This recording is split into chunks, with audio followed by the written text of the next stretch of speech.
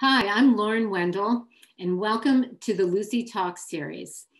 The, the Lucie Foundation has a threefold message, which is to honor master photographers, to discover and cultivate emerging talent, and to promote the appreciation of photography worldwide. Our signature event is the Lucie Awards, which will be held in October online. Please go to the lucyfoundation.org to see all of our programs and information about the Lucie Awards. It is now my pleasure to introduce the panel, a live conversation with photographer and Lucie honoree Maggie Steber, artist and university professor and chair of the Department of Photography and Imaging at New York University's Tisch School of the Arts, Deborah Willis, and moderator Aldeide Delgado, the WOPHA founder and director, Latinx art historian and curator.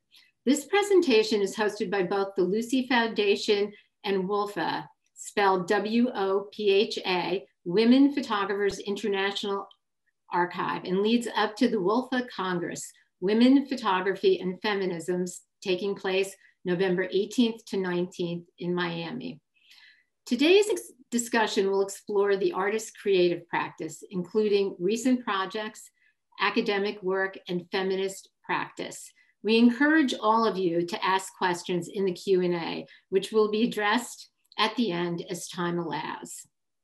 It is now my pleasure to turn the Zoom mic over to Aldedede, Aldedede Delgado and the rest of the panelists. Thank you. Thank you so much, Lauren, for this introduction. And thank you, Alice, and the whole team for all the support uh, during the process of organizing this conversation. And thank you, Deb and Maggie, for being here, for being one of the speakers at the coming Women Photographers International Archive Inaugural Congress. And I look forward with excitement to the conversation that we are going to have today. So please, if we go to the next slide, I will uh, dedicate the coming minutes to speak a little bit about what is WOPHA, what is the Women Photographers International Archive, and why I created this organization. Women Photographers International Archive was founded in 2018 as an organization dedicated to research, promote, support, and educate about the contributions of those who identify as women in photography. Through the organization, I uh, established several um, programs or main activities which consist on uh, preserving primary source material and critical documents related to women and photography, offer reference services to universities and scholars to assist with uh, their long-term studies, as well as organize scholarly symposiums and lectures, uh, curating digital and physical exhibitions, produce catalogs and books about women photographers. And also we have this program that we implemented, started implemented last year that the name is WOFARAMS, in which we invite a women photographer to do a takeover in our um, Instagram platform weekly. And then we also have artists in resident programs, photography-based workshops, and we one of the main um, uh, bases of the organization is the creation of online archives uh, because the idea of accessibility and this notion of who has the right to access to archives, who has been the ones in charge of building history is crucial to the work that we are doing. So the organization is based in Miami. We don't have a physical space. In that sense, the partnership and the collaboration with different, different institutions is crucial to our work. And we can go to the next slide. And then I want to refer a little bit of the importance of making this organization and how the origins of it are focused on the, uh, in my first project catalog of Cuban women photographers that I started to work on in 2013.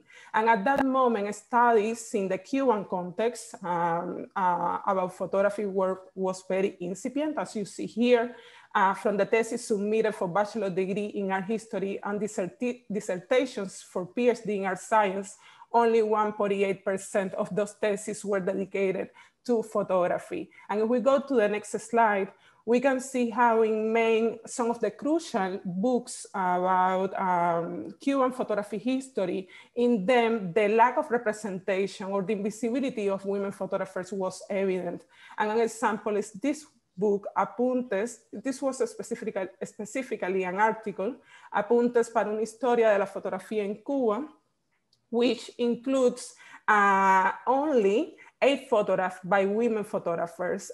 That means two women photographers represented and 87 photographs identified as anonymous. As in today, is in our talk today, we are having as reference this book, uh, A Room of One uh, for One's Own by Virginia Woolf. And one of the reference that she used to, that she mentioned is that Anonymous was a woman. So that for me uh, make me the question of well, what happened if those women that we identified as anonymous were women? And we go to the next slide. I only want to show another example of how in this book, for example, um, 100 years of Cuba, 100 years of photography only include five women photographers. And then from this total amount of 52 photographers represented.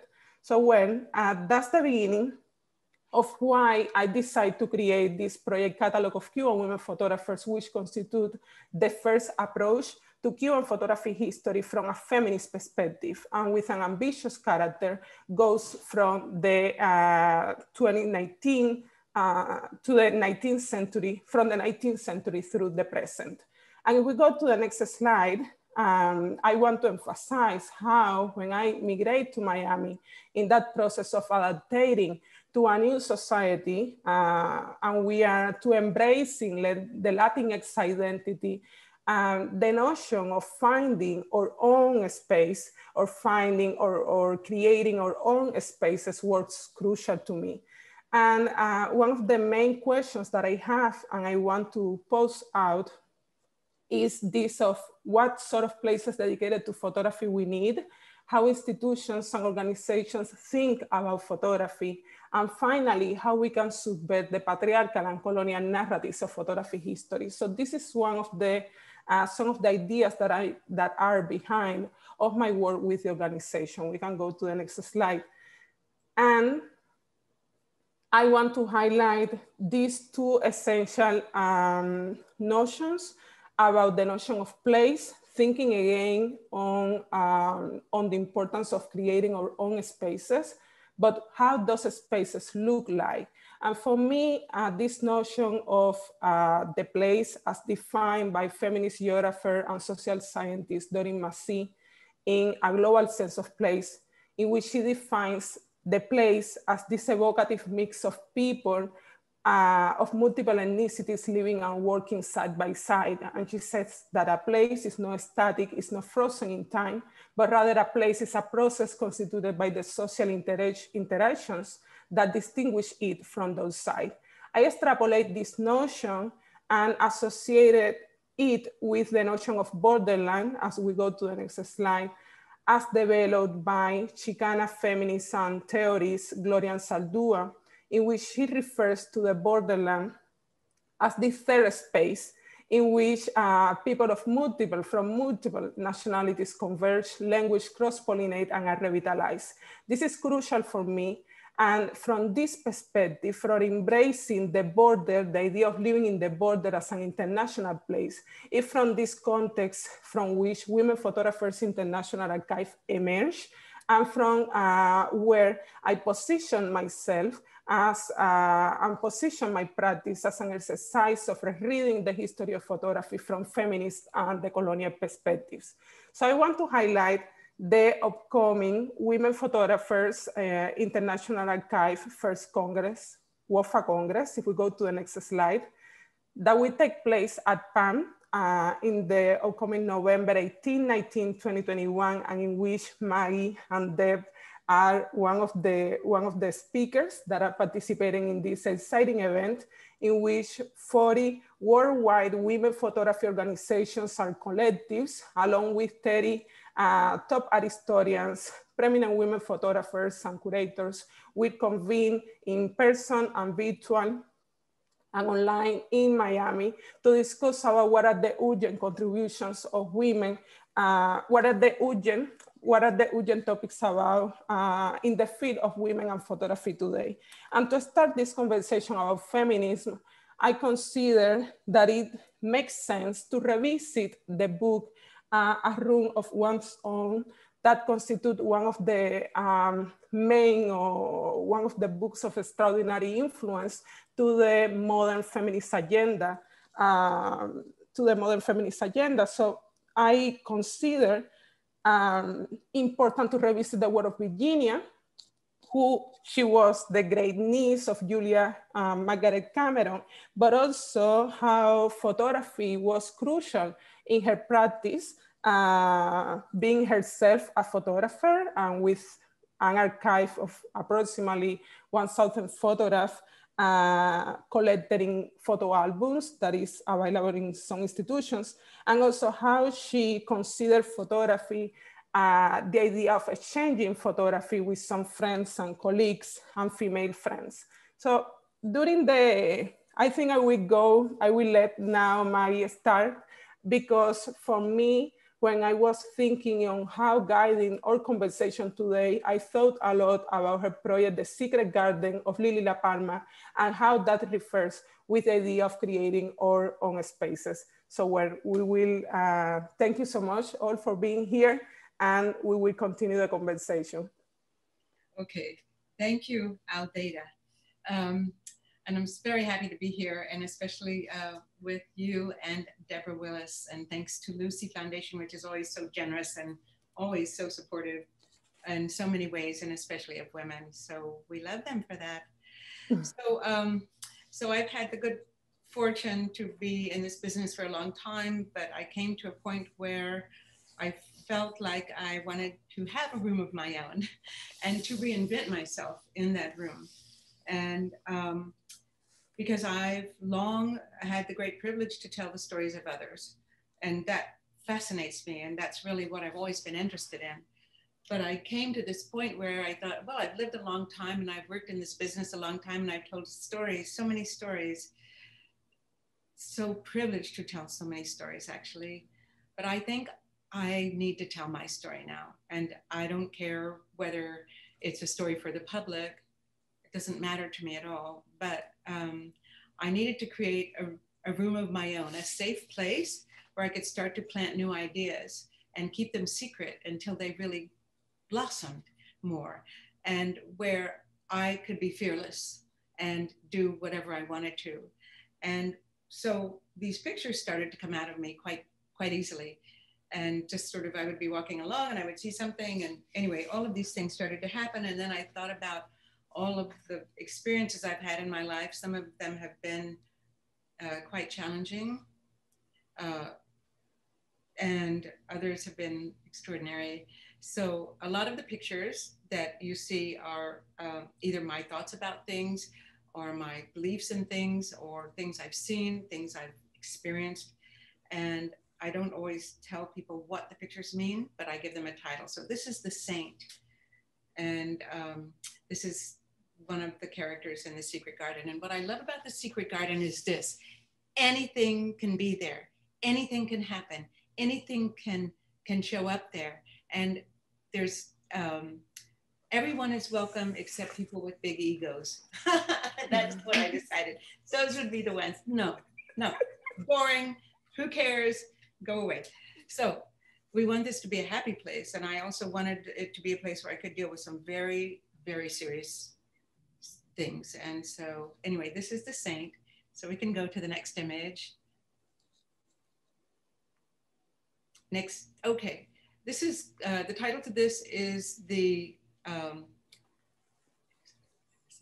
the Sacred Heart of an Innocent Boy and it has to do with child molestation, actually, um, that I'm not going to really talk too much about here, but it uh, references things that happened to me and to other people, a lot of friends, and a lot of them were women, uh, which happens to us. But there were also uh, men who were affected by things like this. But I wanted to make a picture that really spoke to this idea of sacredness and sometimes what is taken from you when bad things happen, and especially to us as children.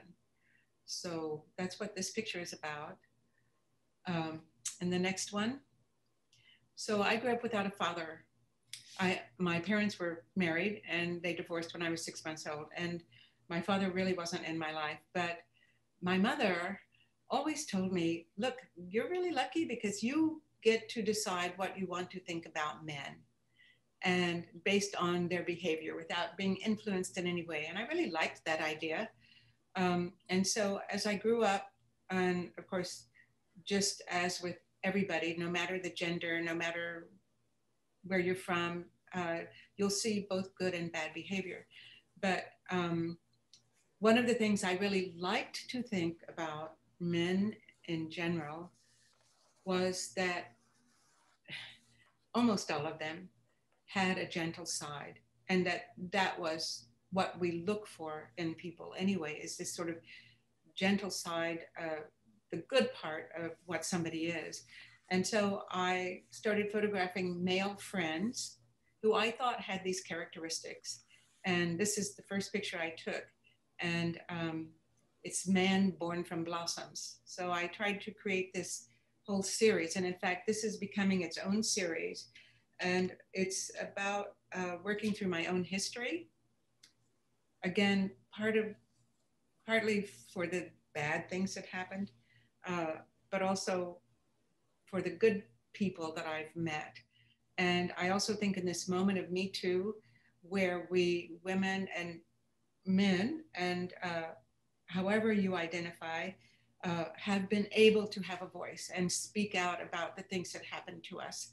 And um, I think this makes this series particularly important because I also think that we have to be careful not to lose the balance of things because there are some very good uh, male identifying people who have done great things for us. And in fact, um, coming up in this business, I have to say, uh, there were always more male photo editors than females. Now it's kind of switched, which is wonderful. Um, but so it was always men in this business who moved me forward and had faith. And it wasn't because I was a great photographer, but I worked so hard and they saw that. And I might have had to go do something 10 times, but when they saw how hard I worked, they said, okay, let's give this one a chance. Um, but it also fought against this idea, I think, that came up with male photo editors who didn't invest in women because there was this tendency to think that, well, women, you know, they're gonna fall in love, they're gonna get married, they're gonna have children, and then they won't really be able to work. And I always thought that's not true. You know, there's no harder job than being a mother, first of all. So to all the mothers, I take my hat off you're brave, courageous women, and God bless you, um, brave women. Um, but I had to, I wanted to recognize, I wanted people to recognize that because it was a male heavy in every way uh, business, that uh, those were the guys who were going to move you ahead. And it wasn't because of something untoward you might have done, but pardon me, but because they just you know, saw how hard people would work. And so that was the beginning of really trying to change the way that men thought about women photographers. And I like to think that that's what my mission was as much as getting to be a better photographer and telling stories. So I thought if I can show them uh, that women are just as good and maybe even better at things, then this was going to be a wonderful thing to do. And in fact, um, in being a photo editor, I was the first woman photo editor to be hired by the AP in New York. And I knew this was on my shoulders now to show them that women can do this and maybe even better. And then I was the first woman uh, director of photography at the Miami Herald. And I'm proud to say that I changed a lot of things there on behalf of women. So there's lots of ways in this business that we as individuals, no matter if you're a photographer, photo editor, whatever you do, a teacher, um, a writer, an artist, that we can really have a lot of influence on changing the shape and the ideas of women and feminism in this business. Let's go on to the next because I'm talking too much. So let's go to the next picture. Oh, okay. So uh, one of the things, so I'm somebody who does a lot of long term projects. I've worked in Haiti over a 30 year period, country that I love most in the world. And I'm so sad that it never gets, it's never recognized for what it really is capable of being and doing.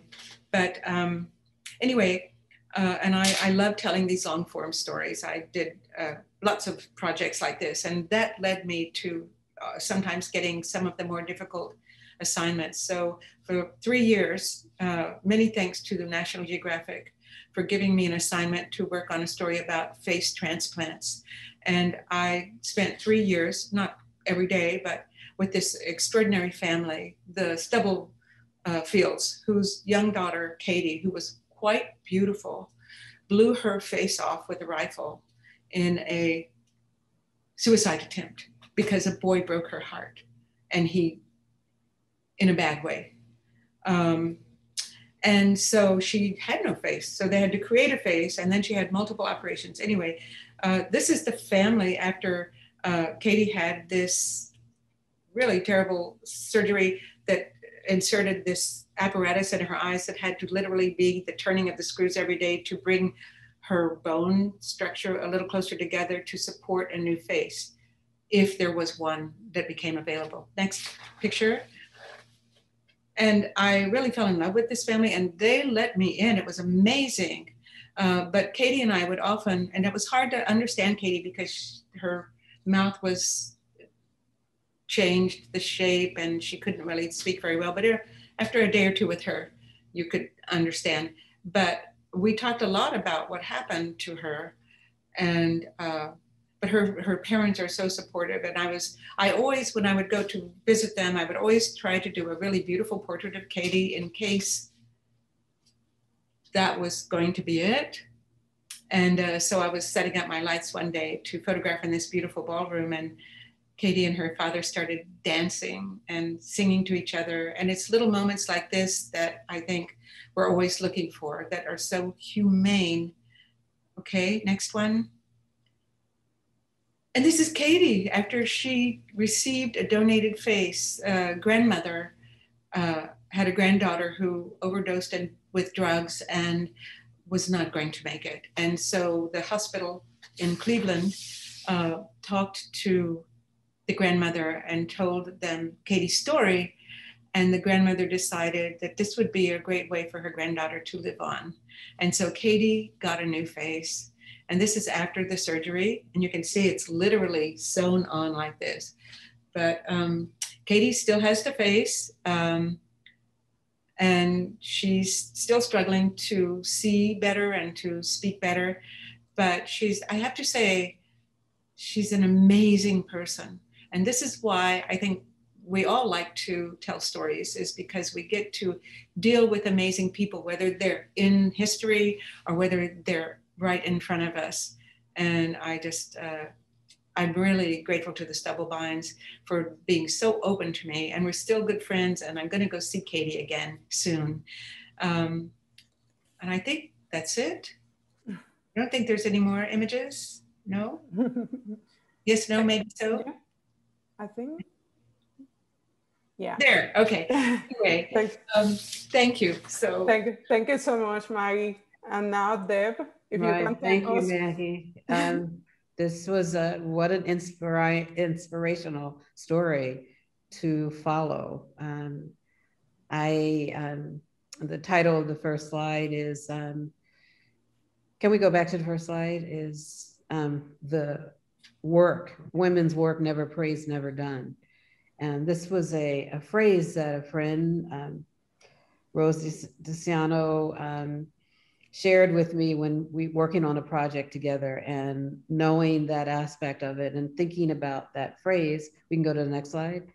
Just to think about the work that we as women photographers is it's often never praised and never done in terms of completed. But um, my work is is about storytelling as well. And I, I really believe that the aspects of, of the bodies of my work, which is long term focused on beauty, um, looking at the experience of how do we tell stories about everyday life, but also tell stories that basically transform our lives. I created a project um, in terms of In Pursuit of Beauty. And, and so it, it, can, it continues through how we think about storytelling, how we unite in beauty shops, how do we think about the force of beauty in history, but also how beauty is denied um, in, in the storytelling specifically of Black women. I'm just thinking about the, the subjects that we, we're all sharing. Um, this is a work um, by, I photographed Carrie Mae Weems in a beauty shop in Eatonville, Florida. Interested in following the history of Zora Neale Hurston and her story of, of telling um, as an anthropologist, but also as a filmmaker, but also growing up in Eatonville and what it meant to her in, in her life. And here Carrie is, is reimagining the, the body of and the beauty of uh, Zora Neale Hurston with creating the hairstyle, creating the place to tell the story. Can we have the next slide? And um, this recently is last year was the 100 years in terms of the women right for women to vote. And there's another project that I worked on with a group of women through Park Avenue Ar- Armory, 100 Years, 100 Women. Um, invited to curate a show, but also as a photographer, as you know, I live a dual life of curator, photographer. And I wanted to look at the archive of women who fought to vote, uh, fought for the right to vote. And you know there were black women in the ninth in the 19th century who fought so their images here. But i also wanted to use the concept of the clothesline. I think storytelling is central. Growing up in north philly having to, watching my mom put on um, you know hanging up clothes and talking in the backyard to the women next door or the women who passed by on the street because we lived on a corner house here's my mom in a beauty shop um, would we all know how um, we know that, um, as Tiffany Gill says, that um, it, beauty shops are subversive spaces. And just imagine women coming in to have citizenship classes to talk about their love life, talk about their successes. And then this is the uh, headquarters of the colored women voters. I love this image in the archive.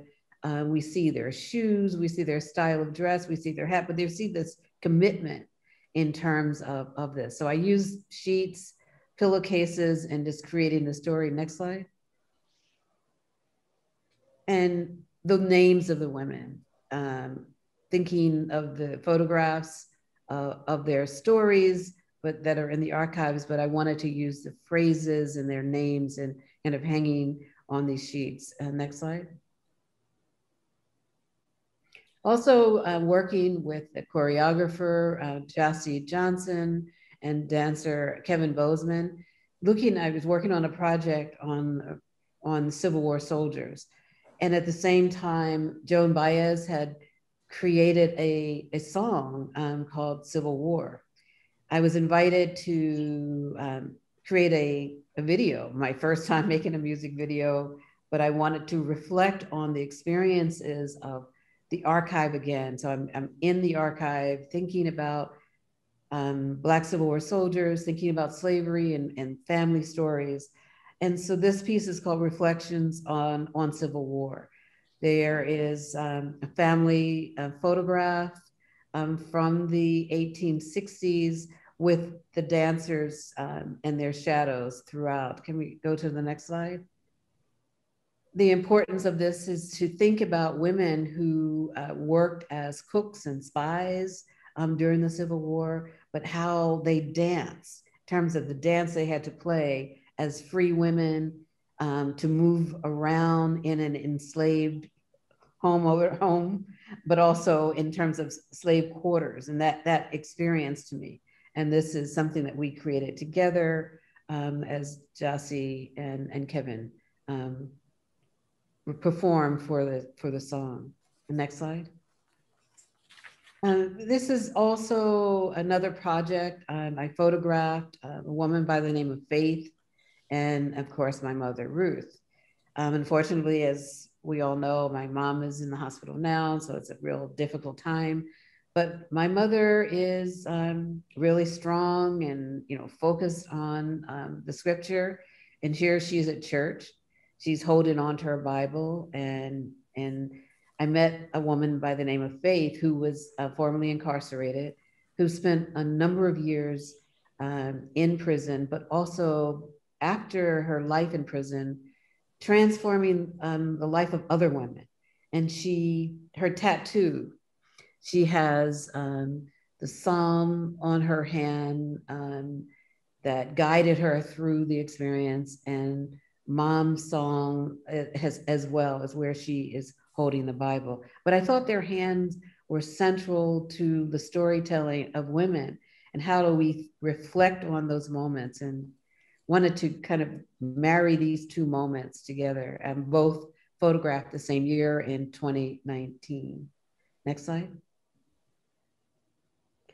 Also, for a few years from 2018 to today, I've been photographing closets, women's stories, closets, telling their stories. And this is started in Florence at the Villa La Pietra in a woman's shoes, um, the archive of her gold shoes, um, Hortense, Hortense's shoes. And then the other image is, you know, a, a dress, kind of the, the horse dress, the, the kind of the framing of a possible dress or that a designer could create for um, Lana Turner, who is uh, lives in Harlem, who's well known for her dance and her history and working in the archives. And then she has hundreds of hats and shoes and wanted to just spend time in her house and in her closet.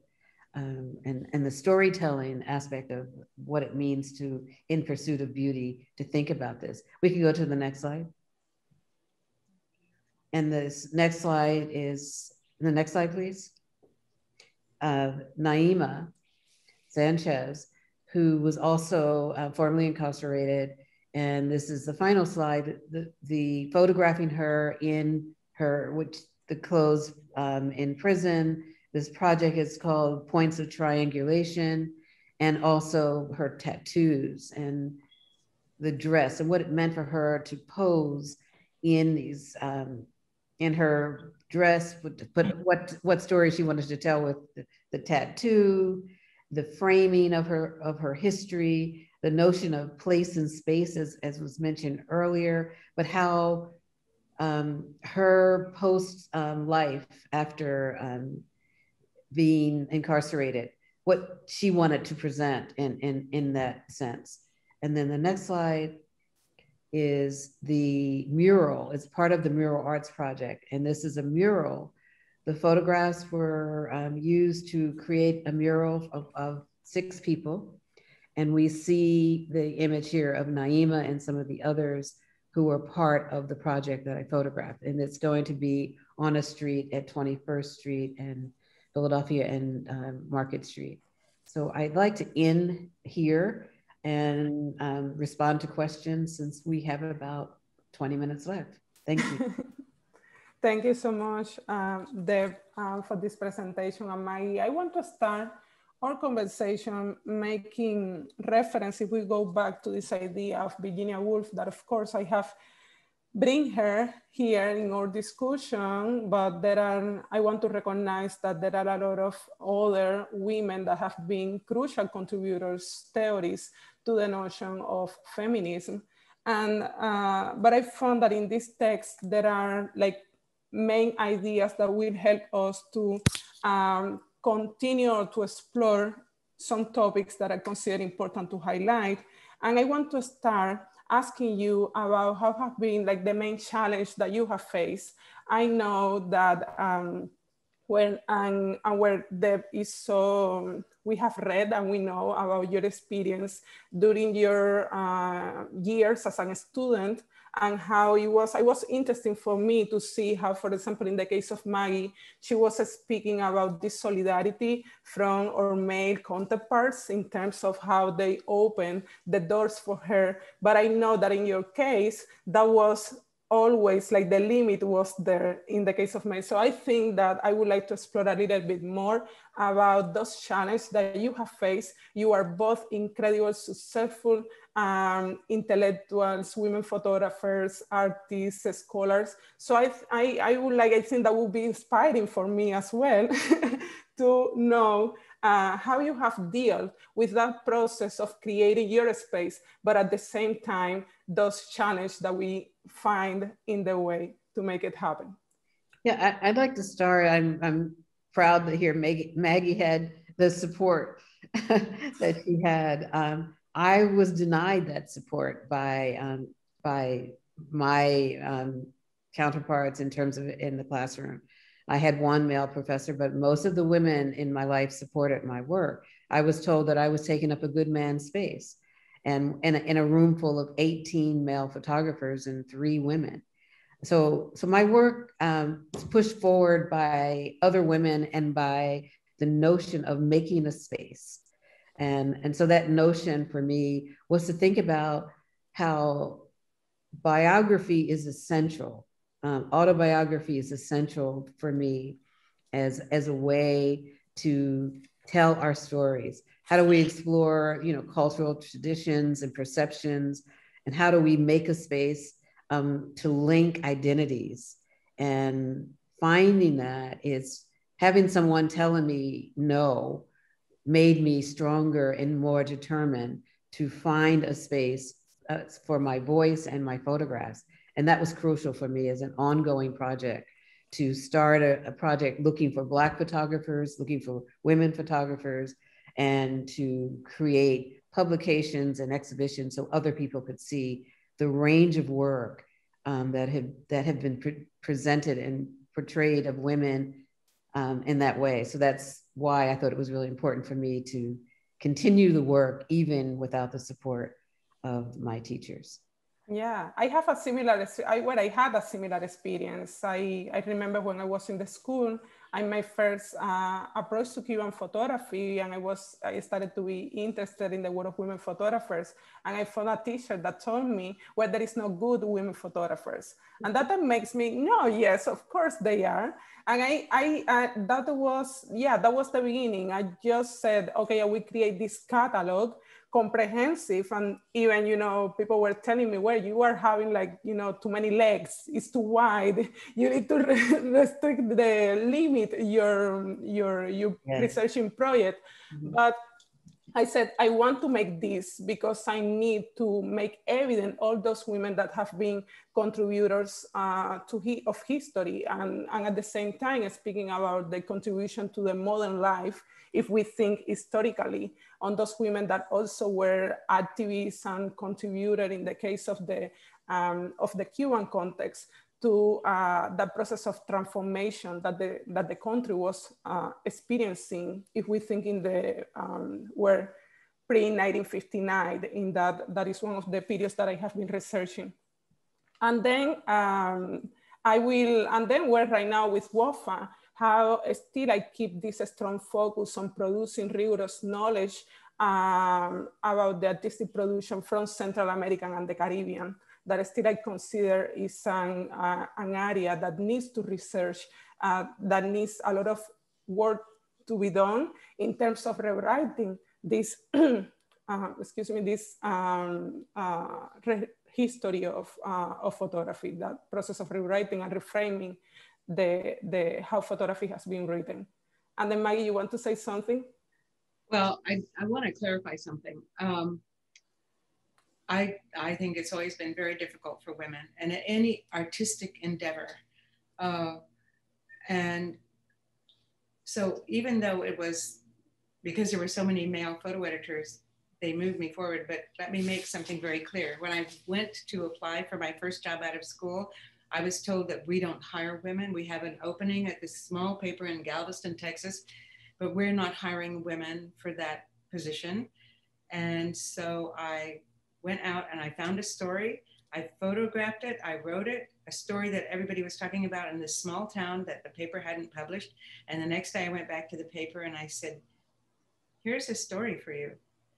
And that managing editor who fussed at me and said, "You, you know, I told you, I told you, we're not hiring a woman, a woman for this job."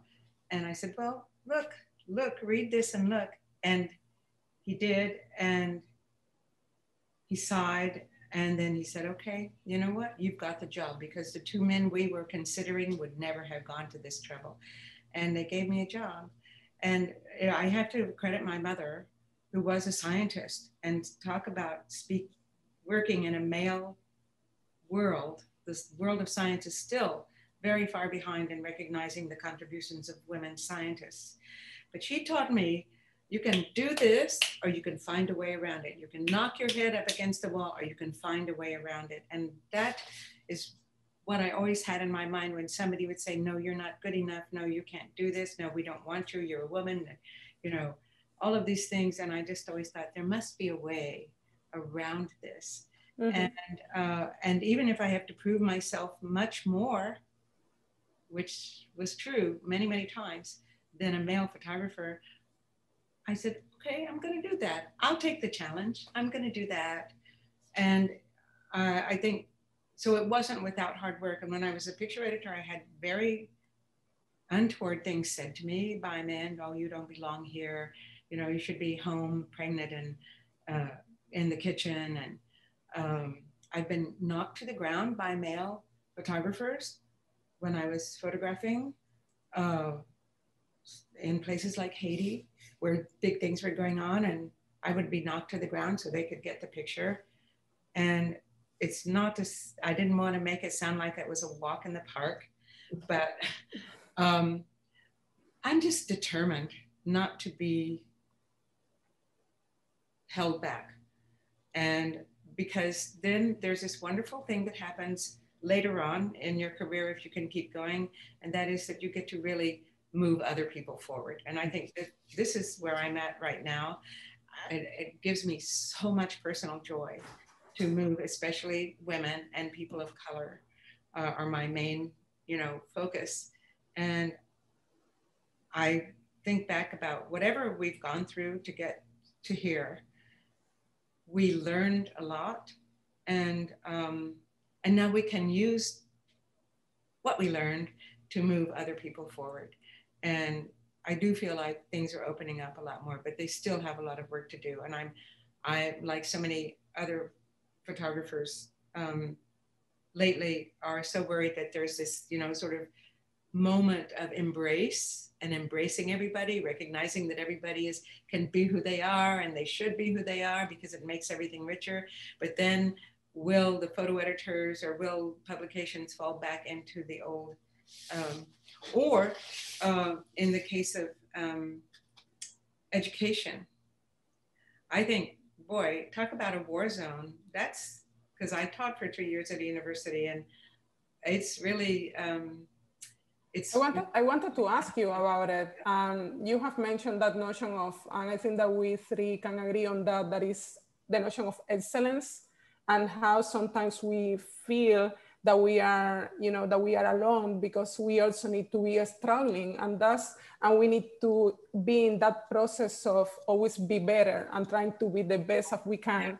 And and it's yeah it's it's it's a hard work that we uh, that what implies that we need to constantly be pushing ourselves beyond the limits and i want to um, another crucial element that is the uh, the importance of education. And of course we are when i speak about this process of trying to be better all the time is because we live in a patriarchal system that does not that doesn't necessarily is responding to us. So how do you feel the things have changed in academy or uh, and also because we're specifically in terms of the professors but also how photography is being teach at this moment and uh, what it needs what still needs to be done in that regards and also i want to know if you consider that women photographers is a subject curriculum to have in the in the schools hmm. Well, I think that um, it's really important to also note that at teaching at NYU, the number of, of women, um, young women who are applying for the program, it is it's astounding. It's it's really important to think that they are focused on their future. They understand that they're committed to telling um, a different narrative, a different story. They they know the histories. You know, we we know how uh, social media has affect uh, affected all of us in terms of what happened over the past um, 20 months. But the silencing of women's voices is no longer um, based on social media. And we have a number of students who are applying. Um, they some of them apply, and they're they're already actively um, in the field. They are activists. They are fashion um, photographers.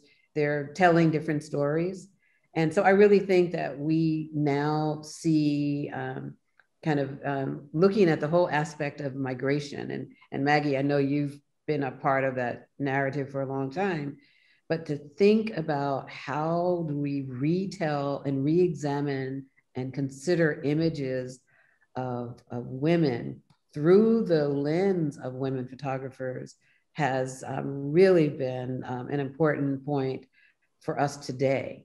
And if we reflect on that future, I see that a number of women are um, st- studying photography and, and teaching.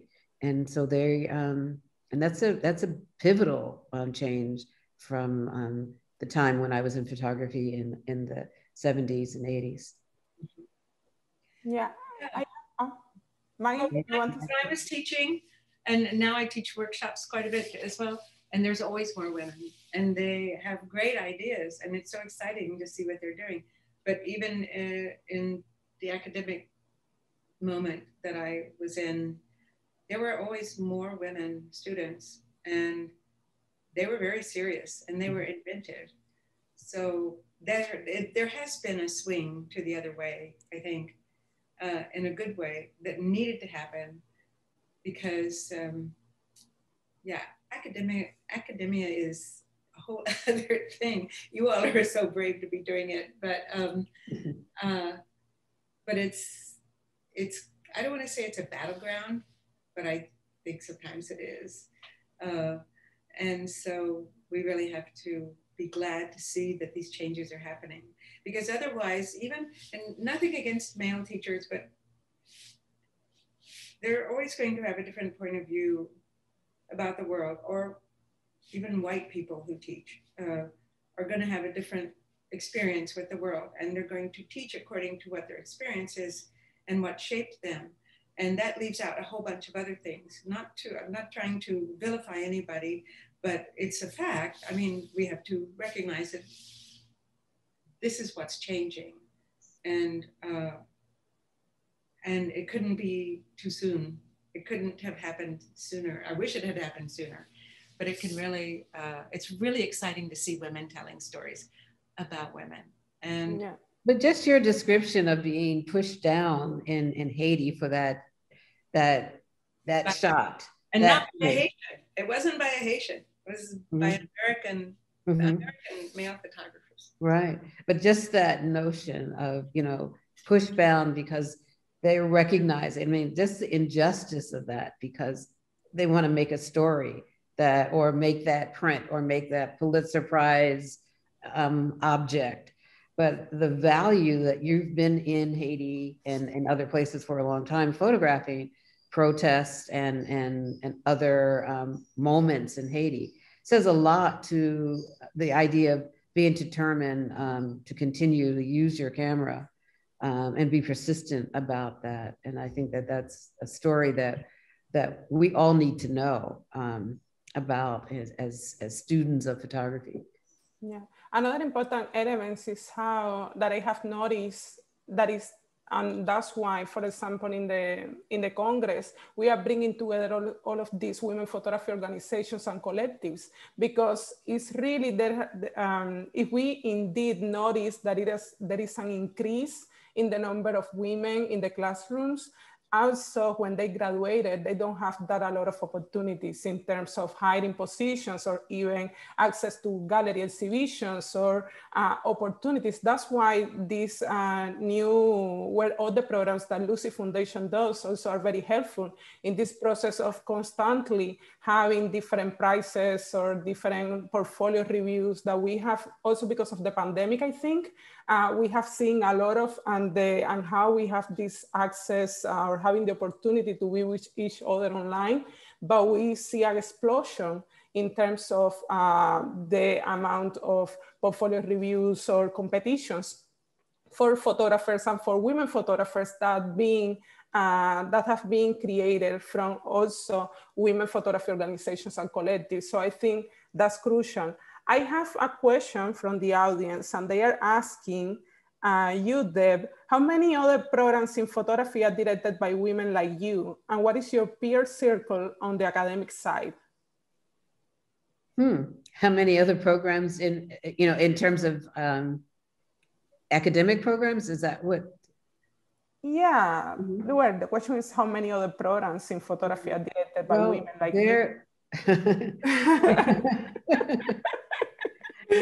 um, I haven't, there's no survey yet, so I, am not sure, but I'm a member of the Society for Photographic Education. I'm, I'm a member of the College Art Association. And um, the whole aspect, and that's from Michelle Dunn Marsh, who I know has been very active in um, exploring and, and identifying the voices of women. But um, I would say that it's really important for us to acknowledge these um, the curators and and and act and people like Michelle who um, at the Northwest and in terms of know, Northwest Center in, in, in Seattle, Aperture, and in terms of the work of women who have spent time, you know, not in front of the camera, but making sure that we're published, um, that we are exhibited, and that our work, the, the circulation of our work is ongoing. So I'm not sure how many other programs, but I, I'm sure that that's a great project to consider. It, you know, one of the, um, um, Lorie Novak is my colleague and, and Mary Virginia Swanson is also a colleague. And they are both constantly looking at programs to talk to other students um, about how to become a photographer, how to work in the field of photography. And so that's really important for, I'm gonna ask them about that circulation. And, and when we, when students apply, we always wonder where else did they apply and why us in terms of NYU, why Tisch, but it's, it's, a, it's an important question, but I don't have an, answer that I don't have an answer to. I um, yeah, I think I would like to to have. I know we have some minutes still, and I would like to take the opportunity to speak a little bit about the notion of feminist photography and your thoughts on that, and um, and this uh, important idea of creating our own language. So, what does it look like for you? What is feminist photography for you? If we can quickly uh, speak a little bit about it. Maggie. Oh, I'm sorry, I was reading a question. oh, teacher, teacher, I wasn't paying attention. No, I, I, just wanted to, to highlight a little bit about this notion of feminist photography and what does it look like for you? Oh, well, I think, um, first of all, I'm so happy because I'm everywhere I look, there are women telling stories and uh, about women, but other things as well because I think when a woman looks at something, she sees something then uh, different than a male might, or I don't want to, are feminine identifying people as well. Um, and certainly people of various colors. So I think that we're seeing uh, so many stories. And where I really saw a big change, uh, just in terms of being right in front of your eyes, okay, and I'm not, uh, I'm not promoting any particular publication, but National Geographic really did a 360 degree turn where they started hiring many, many more women, women of all kinds, uh, and um, telling stories about women. And they've really done a big turnaround and on racial issues as well. But, um, but I think you saw that in a lot of publications. And also, there are far more women photo editors now and they are moving women ahead. And that's really exciting as well. And I think all over the globe that's true. But um, I think there's very much a feminist kind of story being told. Yeah, and important. A lot of people. I mean, it's it's becoming there's that that's in the air more that you know we want to know stories about women and what women have gone through and how they've coped with things or how they overcame things or what are their ideas and how do they make things and how do they dream and what are their dreams about and how are they going to raise their children for this future that's so unsettling actually and uh, in terms of climate change and you know and i really this is i love being a woman. I think that we're so much freer than men in so many ways uh, but we have to claim that. And um, and also i just feel like there's been it's the feminist kind of storytelling has been quiet, except for a few people have broken through that. But um, I think this is a moment when there's just really a lot of wonderful storytelling, just not only in uh, photography, but in art, in writing, uh, in programs, and how uh, people are even raising their daughters, which is hugely important thing that, you know, we have to raise our daughters to be confident and not be diminished or felt to be diminished. So I feel like all of those things are going on right now. So I I know we have a lot more work to do and there is but I'm so happy to be alive still and see this happening because there's so many stories to be told and so many ways to tell them and it's so exciting and to have something like uh, the conference that you've planned, uh, Aldeide, it's yeah. amazing that you are pulling this off, and it's it's terrific. And I hope a lot of people come because it's a real celebration of feminism, and that word has also opened up and become uh, more inclusive about what feminism is about. I think uh, so. I think there's a lot more to be done, but I think so much has changed and I'm thrilled. And I, I hope that women embrace this moment and really become part of it. It's um, this movement, but, and not just for themselves, but on behalf of all women. Yes. You know, there are women who are still kept down so low. Uh, Native American women have a lot of stories to tell. And women in other countries. And so. Yeah, thank you so much. I have another, uh, one last question that is where it's about what we can expect for the WOPHA Congress. And I am here um, like suffering because we have a lot of things to discuss. There is another important question that is about um, um, how many that how we have been speaking, how many have been speaking about the feminine gaze and how do we think is the uh, female way of photographing. And I want to encourage you to subscribe to the um, uh, to register for the coming WOPHA Congress. These are some of the topics that we will be discussing about education, about feminist photography, about language, about queer identities in photography, as well as um, when who has the right or who makes feminist photography as well, and the notion of the female gaze. So I invite you to uh, go to the WOPHA's website uh, at wopha.org and our social media, WOPHA Foundation, and then subscribe to the Congress will happen in person and online. And I would love to continue this conversation, but, uh, but yeah, it will happen in November. Thank you so much. Thank you, Aldeide, Maggie, and Deborah for participating today. We're grateful for your vision, your advocacy, your work. Um, thank you, WOPHA, for WOPHA for co-hosting this talk and the work that you do. This conversation is recorded on the Lucie Foundation's website, YouTube channel. So if you've missed anything or would like to listen again, please go to the Lucie Foundation and find our YouTube channel to our audience, thank you for coming and um, have a wonderful day. Thank, thank you. you. so much. Thank you, Deb, thank you. and thank you, Maggie, for your time, for being here, and see you in November. Okay. See everyone in thank November. You, thank you, Lauren and Alice. See you too as well. see you in November. Thank you, Alice. in November. Thank you.